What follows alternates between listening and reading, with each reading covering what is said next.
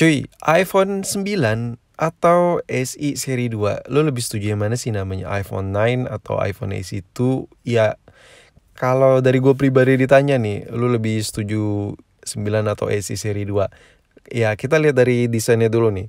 Kalau si iPhone terbaru nanti yang launch itu bentuk basicnya dari iPhone 8, basic desain bentuknya dari iPhone 8 basicnya, ya nama iPhone 9 menurut gue itu lebih klop ya, lebih bagus ya. Karena si Apple langsung lengkap ke iPhone 10 mentang-mentang ulang tahun iPhone yang ke-10 nama 9 itu nggak dipakai 9 nggak dipakai seri 9 nggak dipakai ya menurut gue bagus-bagus aja sah saja tapi kalau ditulis di situ SI seri 2 tapi basicnya dari iPhone 8 menurut gue dengan ciri-ciri khas SI yang munyil mini gitu udah hilang kali ya. Ini menurut gue pribadi aja. Jadi kalau lo ditanya lo lebih setuju nama 9 atau SI seri 2 ya kalau menurut gue kita lihat lagi desainnya. Desainnya basicnya dia ngambil dari 8 atau benar-benar SE yang dulu cuman layarnya di fullin. Ya kita kan nggak tahu kan nanti launchnya kayak gimana. Karena untuk SI seri 2 ini cuy, SI seri 2 ini dia udah lama banget beritanya bakal launch rumor-rumornya itu udah dari tahun kapan. Dan gue sempat bikin videonya iPhone SE seri 2 buat yang belum nonton mungkin lo bisa nonton juga linknya ada di deskripsi di bawah video ini hmm, kalau buat harga iPhone terbaru ini bakal launching katanya sih di 399 dolar yang di mana 399 dolar itu menurut gue masih mahal cuy. Buat orang kismin kayak gue harga 399 dolar itu masih mahal dan menurut gue ya untung atau enggaknya beli iPhone kalau menurut gue pribadi karena udah punya iPhone 11 Pro ya menurut gue gue nggak bakal ngambil buru-buru sih iPhone SE seri 2 ini atau iPhone 9 kenapa? Karena kalau kita lihat dari spesifikasinya ya si iPhone SE ini masih di bawah yang seri 2 ini masih di bawah jelas kan masih di bawah iPhone 11 Pro Max ya jadinya menurut gue gue nggak terlalu butuh-butuh banget kan. Gue biasa kalau nge-review barang itu apa yang gue butuhin aja yang gue suka dan yang memang kebetulan gue pengen beli aja. Tapi kalau gue ya gue nya lagi nggak niat beli kayaknya nggak bakal gue mbak tapi buat lo yang nungguin di channel ini gue beli iPhone SE seri 2 kayaknya lu harus stay tune di channel orang lain aja cuy. Kenapa? Karena gue nggak bakal buru-buru banget tapi bakal gue beli kok. Kalau memang benar-benar iPhone 9 ada dan iPhone SE seri 2 keluar. Oke kita fokus ke desain dari iPhone SE seri 2 dulu, iPhone 9. Bodoh amat dah lu mau manggil namanya apaan karena ini masih rumor. Oke, jadi ke, kita lihat di rumor-rumor yang beredar saat ini di internet, dia ngambil basic desain dari iPhone 8 cuy. Kenapa? Kalau dari layarnya sebenarnya bukan basic iPhone 8 ya. Basicnya kalau orang-orang bilang kan basicnya iPhone 8. Dari luar negeri gue ngelihatnya bilangnya seperti itu. Ya kalau kita lihat basic design ya of course itu iPhone 6 kan. Karena 4,7 kan gak ada poninya. Pertama kali iPhone 4,7 layarnya di iPhone berapa? iPhone 6 kan ya benar berarti kalau buat layar basicnya dari iPhone 6 cuman kalau buat back glassnya back glassnya belakangnya itu kan kaca. Yaitu benar desainnya ngambil dari iPhone 8. Nah kalau kita lihat sendiri kenapa belakangnya harus kaca? Nggak kayak SE seri 2 dulu yang belakangnya sama kayak 5S ya biar ala-ala biar ngecas wireless gitu cuy. Jadinya belakangnya kaca. Oke ini gue lihat di forum GSM Arena. Ini forum luar. Dan di sini tertulis iPhone 9 atau SE seri 2 dan ya bakal launching.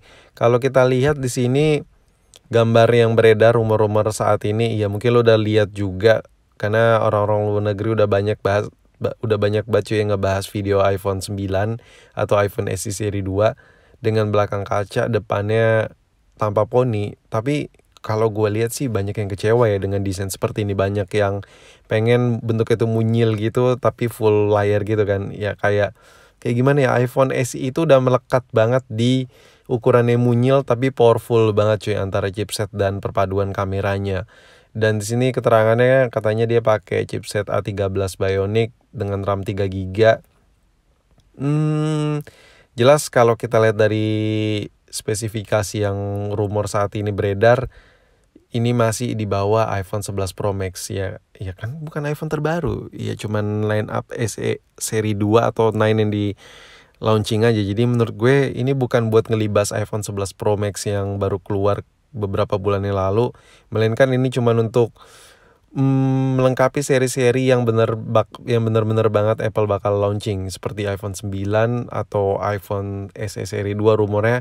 Tapi sih kalau bener-bener iPhone 9 namanya ya menurut gua agak ngejanggal sih ya karena iPhone udah launch iPhone 11 habis itu eh, maksud gue iPhone 10, iPhone 10 habis itu ke 11, habis itu mundur ke 9 dulu, baru ke 12. Agak bingung sih gue.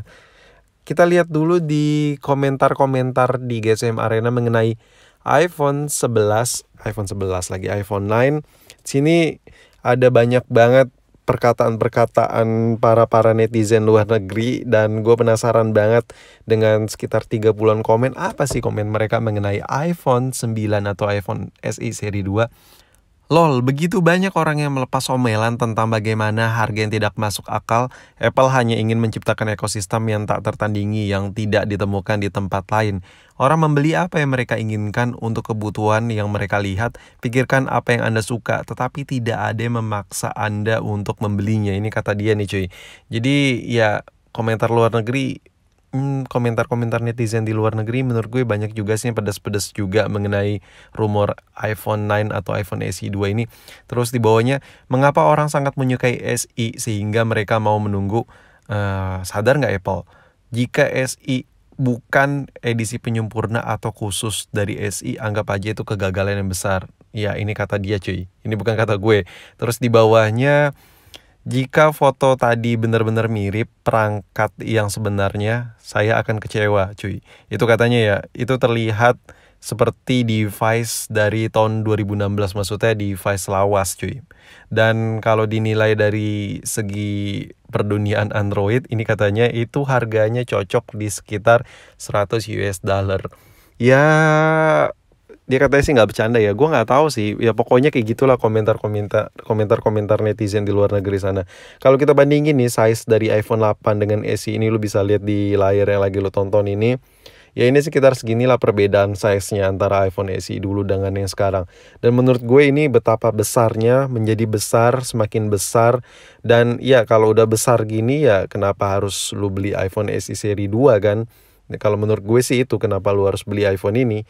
Tapi kalau menurut gue pribadi, setiap orang punya apa ya punya kebutuhan tersendiri yang berbeda-beda. Jadi lu nggak bisa menganggap ini jelek, lu bilang ini jelek belum tentu bagi orang lain itu jelek karena setiap orang tuh ya kebutuhannya beda-beda, pendapatannya beda-beda, kesukaannya beda-beda. Pokoknya setiap orang itu nggak bisa lo paksa buat nggak suka buat suka ya pokoknya Makanya menurut gue iPhone SE seri 2 ini iPhone 9 ya bakal banyak banget mungkin orang yang kecewa tapi bakal banyak juga orang yang nungguin si iPhone SE seri 2 atau iPhone 9 ini cuy.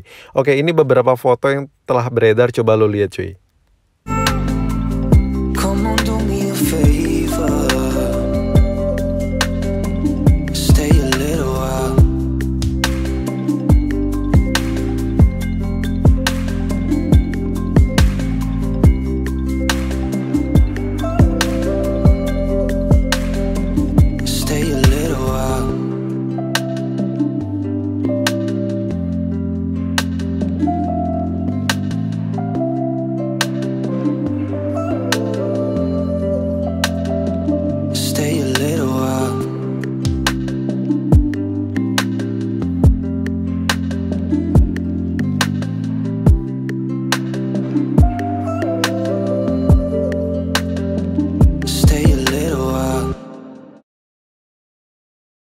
Oke, yang tadi lu lihat adalah beberapa foto dari rumor-rumor dari tonton kapan tahu dalam abad. Gue nggak tahu mana yang benar. Intinya ya itulah foto yang beredar saat ini mengenai iPhone 9 atau SE seri 2. Oke, untuk baterai jelas dia kalau ngambil basic design dari iPhone 8 berarti dia satu kan baterainya. Sebenarnya gini cuy, iPhone bukan iPhone, HP apa pun itu yang support fast charging dia ada risiko ke masa pakai baterainya, maksudnya umur baterainya. Jadi dia karena device itu udah support fast charging, umur baterai itu pun cepat berkurang. Nah, gimana cara menanggulanginya? Si Apple telah menerapkan baterainya itu ada dua biji kan, mulai dari iPhone 10 kemarin. Dan ya kalau dibikin satu lagi berarti ya balik lagi dong ke zaman baholo, ini mana udah support fast charging, dan baterai cuma satu, ya itu menekan resiko umur baterai iPhone itu semakin cepat berkurang, baterai health Jadi ya menurut gua ya itu menjadi salah satu minus sih. Oke mungkin sekian aja video gue mengenai iPhone 9 atau SE seri 2.